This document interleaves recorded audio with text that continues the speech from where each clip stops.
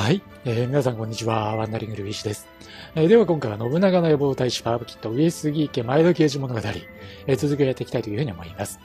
もうね、完全に花粉症になってまして、ちょっとお聞き苦しい点もあるかなと思うんですが、えーご容赦をね、いただきたいというふうに思います。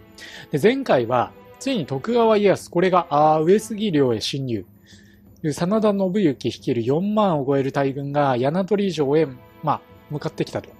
いうところで、これをね、なんとか1万4000の軍で撃退したというところまでお届けしたと思います。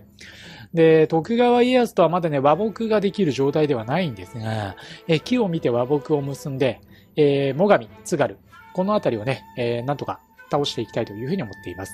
で、まず、そういう意味で言うと、最上の方なんですが、山形城は放置して、えーさらに北進中です。北ちゃん、えーさらには、金継を、最上側の城へ、え向かわせているという状況。秋田県に関しては今、親善中ですね。親善中。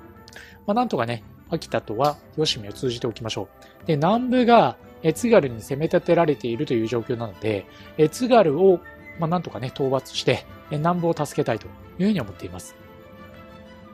前回、家康が侵入してきた、徳川勢が侵入してきたというのがあるので、えー開発をね、えーしっかりやり直しておきましょう。えっと、まずは、どうしようかな。えっと、ここに新設で、なるはやで、砦を築きましょう。そうすればね、必ず、家康の侵入経路が、どこであったとしても、陣を先に張ることができる。先着の砦が有効だと思うので、これをやっておきます。あと、防塁ですね、防塁。防塁で敵のね、えーまあ、入ってくるところに対して、まあ、どうしても兵力的に不利になるので、その不利を挽回するためにというところですね。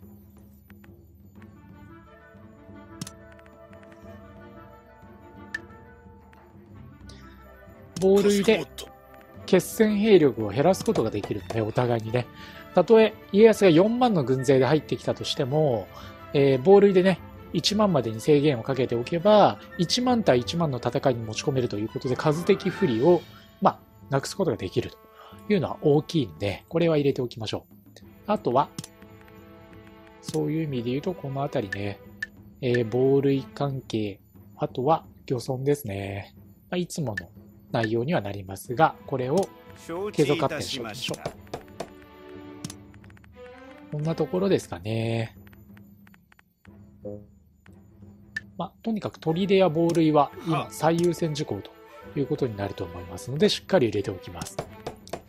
では、これで時間を進めていきましょう。で、今、横手城攻略戦は順調に推移してるね。で、さらに、角館城も順調に推移中というところかな。じゃあ、このまま時間を進めていきましょう。横手城が先に落とせそうかな。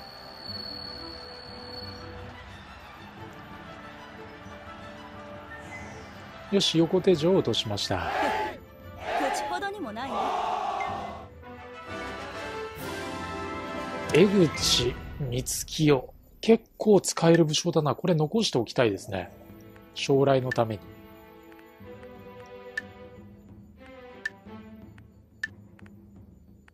光清はじゃあ、一旦。いや、殺しちゃったしまった光清は生かして我が配下へと加えたかった。今更だな。では、さらに行軍をしていきましょう。北ちゃんをどこに差し向けるかだよ。山形城の防衛は2700か。それなりに数はいるよね。となると、ここは津軽を一気に食っちゃおう。宣戦布告して、今ね、おそらく、津軽は南部に対して攻撃中というところもあり、間違いなく戦闘に大軍勢を派遣できないというところになってると思うんで、この機を逃さず、北ちゃん6000、えーこの軍勢を一旦津軽の行きます独古城へと向かいましょう。持ってるよ私ねに、続け独古城でね。はい。できるだけ数を落としておきます。津軽隊1万が来る可能性もありますけど、まあおそらくね、延べ地城、ぐわは延べ地城を攻略した部隊がやってくるか。どっちが先着する？先着の順番だね、あとは。いや、津軽の方が先着するかな。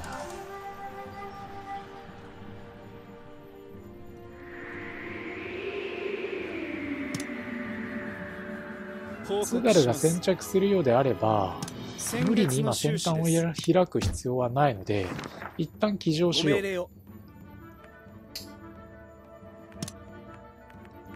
で、その上で、ちょっと新たにねえー出兵をしていく方が賢明かなと思います。津軽隊より先につけなきゃ意味がないので、起乗しましょう。まあ、あのー南部のね、ダメージ最小限に留めたという意味でも、えー今の独古城への牽制、陽動は有効だったと思うので、良しとしましょう。で、開発関係をしっかり入れておきます。終わった以上はしっかり入れておきましょう。まあ、漁村が無理でも貯水池はいけるね。はっもうこの辺りはね、もう、何が何でも、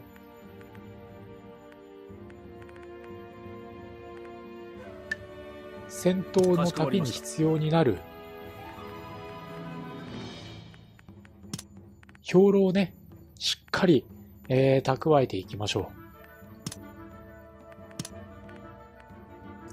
あとは、牧場かなもうとにかくね、刑事に乗せるかための。しこまりました。かしこまった。はっ。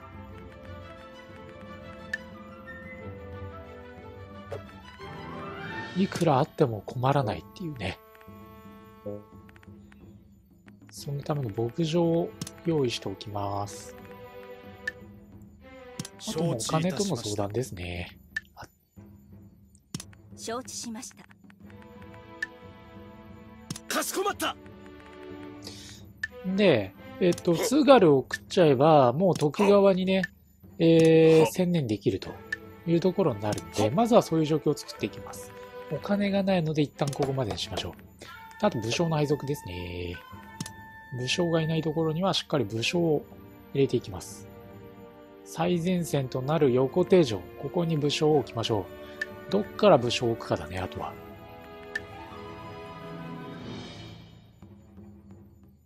菅川から須田、うーん、岩井、両将を置きましょう。本城はそのままにしておきたいですからね。かしこまったで、この状態で、津軽隊が独古城へやってくると、11日後に到着ですね。では、一旦時間を進めます。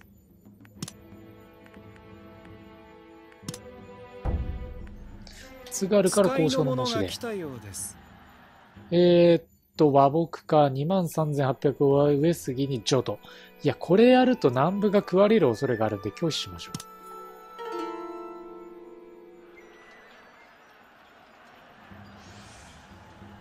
う。でだ、この状態で、今、沼田隊6000が独古城へやってきたんで、我々はこれを超える兵力で、えー合戦に向かいたいんですが、そうすると津軽隊がこの兵力か。なかなかしんどいことやってくれるな。そうすると、延べ地上に軍勢を出そう。えー、1万4000の軍ですね。北隊続け1万4000を出す。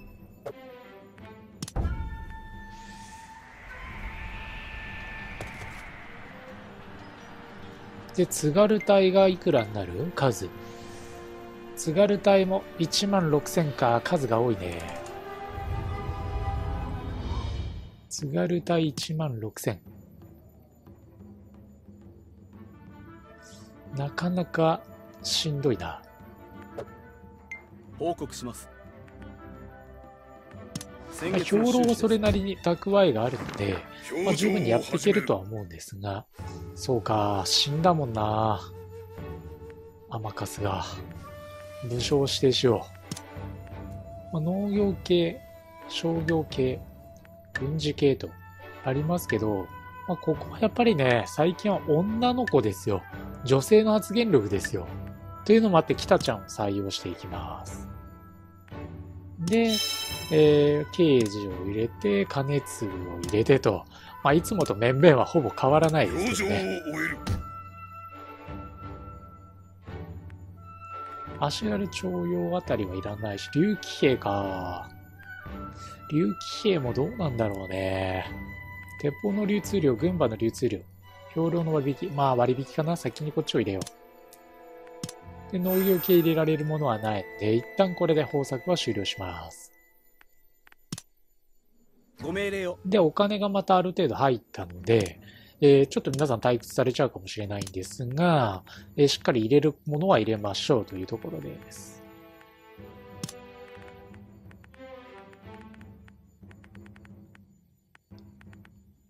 まあ、少なくてもすぐにね、かしこまりました合戦にならない場所は、内政をしっかりやっておいて損はない。で逆にすぐに、えーまあ、合戦になる場所は、結局、戦場になると荒れ果てては壊れちゃうんで、あまりね、えー急いで承知いたしました。ことを運んだとしても、まあ、無駄になっちゃうということもあるんですが、まあ、戦場から遠く離れているような場所に関して言うと、もうガシガシは入れようという感じですね。お金のある限り。で今回は特に兵糧やか鉄砲、えーさらに軍馬というものは買わずに、えっ、と、今あるお金を全部使っていきます。で、何に使うかというと、まあ、ほぼほぼ今やっちゃってますけども、やっぱりね、は刑事用の鉄砲ですよ。あ、うんかしこまった軍馬ですよ。軍馬。これをしっかり買っていきます。こんなところかな。他は？で軍馬の数が揃えば、刑事のねは、騎馬突撃が生きてくるとかしこまいう感じになると思います。はでは、これでいきましょう。で継続発展できるところがあれば、継続発展も入れちゃいます。結構お金使ったね。かしこまった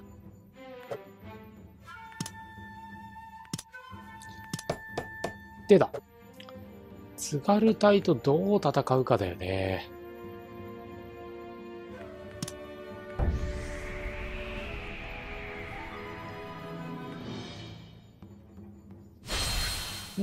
家康と豊臣か。まあもちろん豊臣につきますと。助立ちするで、あとは、柳取城、うん、この辺り、あとは、いわき。歩兵をしておかないと危ないね。歩兵もかけます。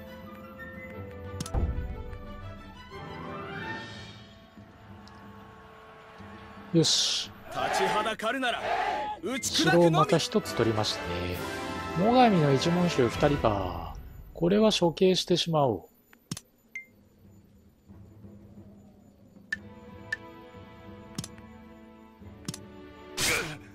う。無念だ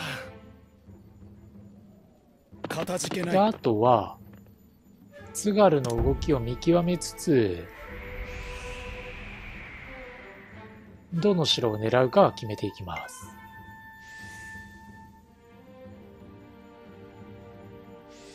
独古城か報ら津軽本体1万6000は動かないんですね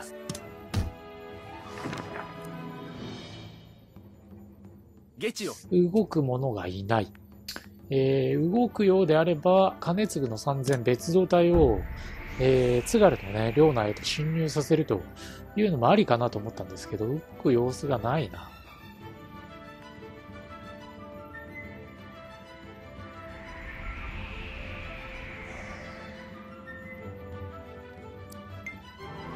この冬の間にね、しっかり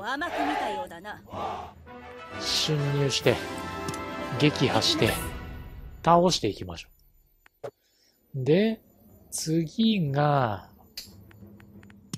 津軽為信本体5000か。これと決戦して叩いておくというのはありかもしれないですね。石川城。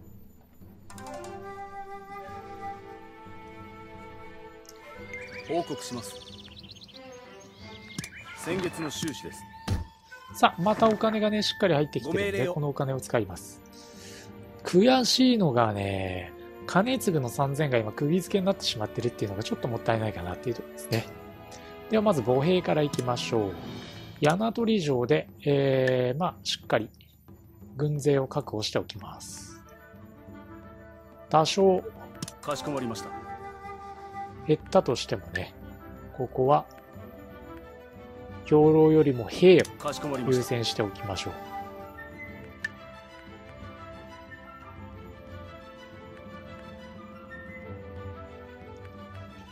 たかしこまりました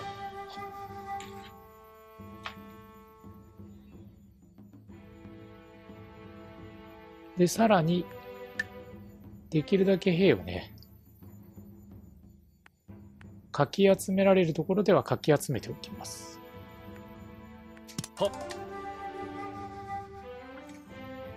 で、福島城とかもちょっと兵の数増やす？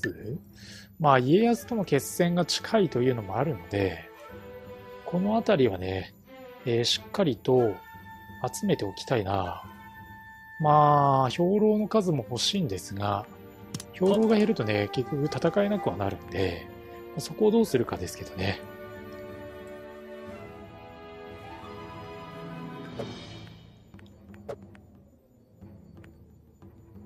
で、今回は思い切って取引軍馬とを行いま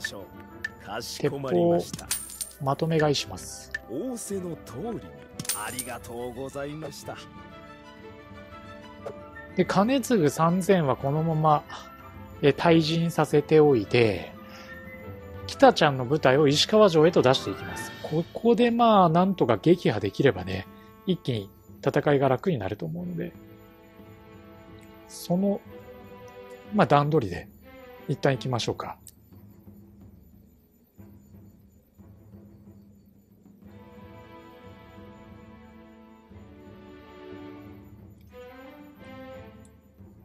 では、これで時間を進めていきます。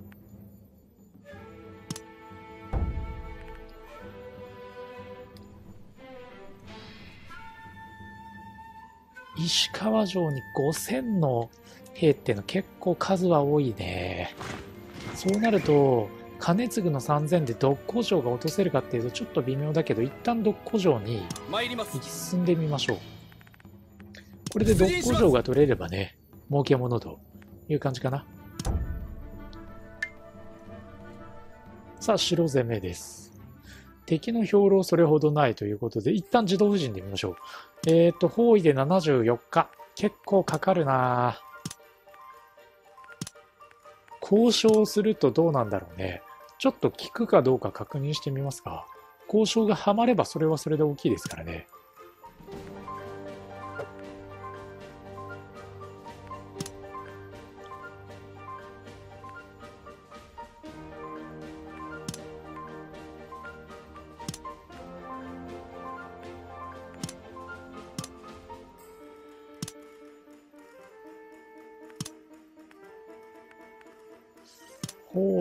ておくのか。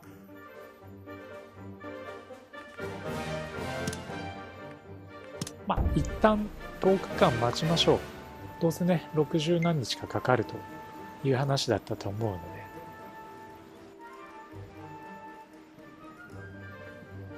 さあ、交渉です。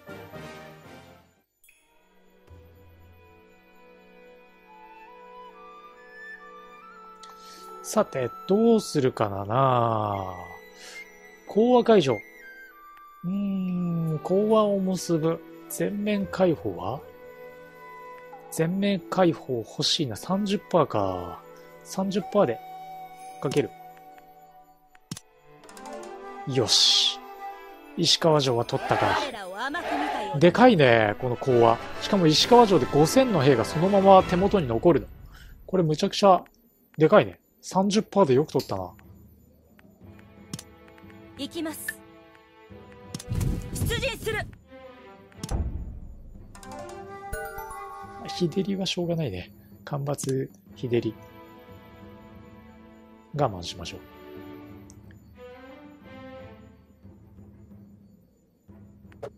いや、本当に石川城5000交渉で取ったの本当にでかい。ここの5000の兵がそのまま使えるからね、すぐにでも。策がございます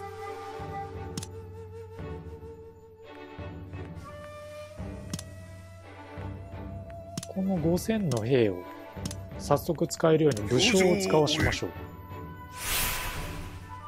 う。で、干ばつ農作業。うーん、耐震でも入れとくか、なんかそろそろ地震が来てもおかしくないしね。あとは、省内進路、兵糧消費、減少小、行軍速度上昇台。これ大きいわ。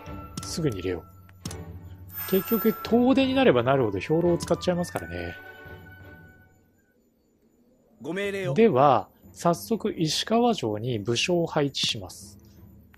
まあ、石川城自体が今後ね、そのすごく重要な拠点になるかというと、まあ、決してそういうわけではないので、まあ、あの、武将のね、中身としてはそれ置いとい、置いて、やっぱりどうしても武将は入れておかないとかしこまりましたしょうがないので、まあ、2つね、取った新たな城に武将をえしっかり入れていきます。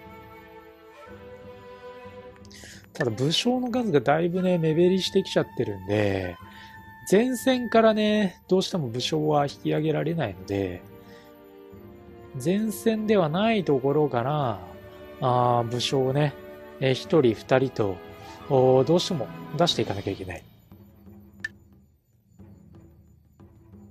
いわきとかからはどうしても出せないからね。会津若松からじゃあもう一人出す？いや、ここは一人いれば十分だろう。小牧に任せよう。で、あとは、交渉。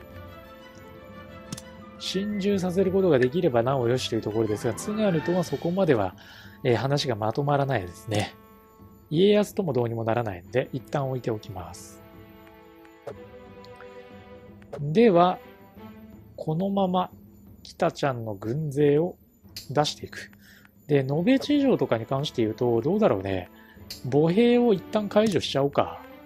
もう、えっと、津軽そんなにね、あの、大兵力というわけではないと思うんで、ある程度、えー数は絞っていく。石川城、うわ、石川城むちゃくちゃの兵いるね。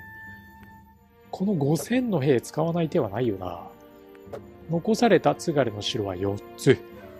えー総兵力は1万は超えているものの、確固に撃破していけばなんとかなる。まあそういう数ですね。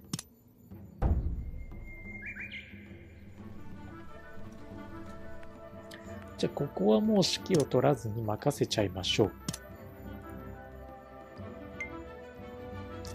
いやいやいや、合戦にしちゃった。合戦にしたとしても勝ちは揺るぎないという状況なので、しっかり勝っていきましょう。ただ怖いのがね、敵の罠系なんですよね。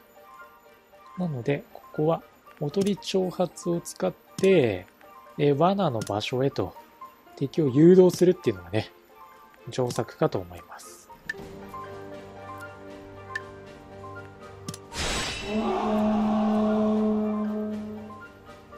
行きます。ご命令を。覚悟しておけ。覚悟しておけ。まずは敵をしっかり誘導していきます。ゲチよ覚悟は良いか。敵は900、900の2部隊ですね。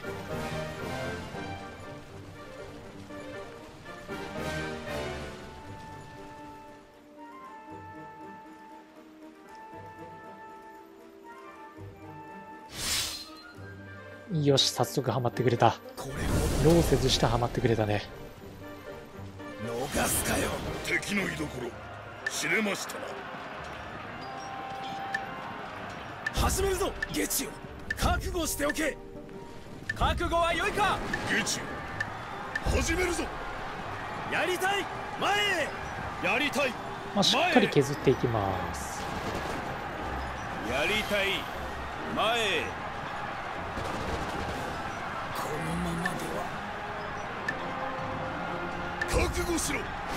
で得意の紙幣を使って、一気に敵を壊滅へ追い込んでいく。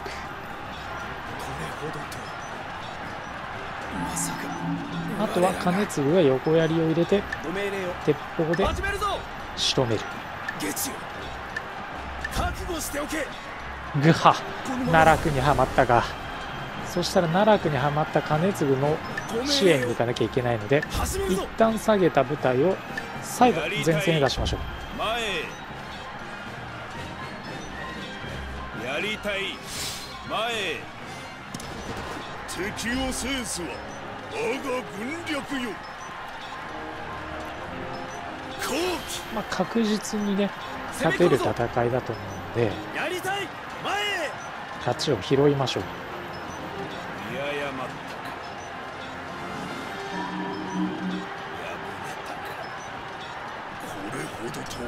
で、独古城が取れれば完璧ですね。勝利の光が我が道を照らしている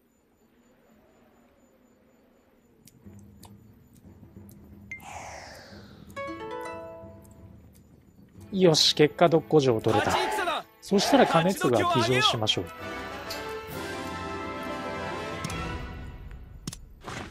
よし、ここまですごく順調だね。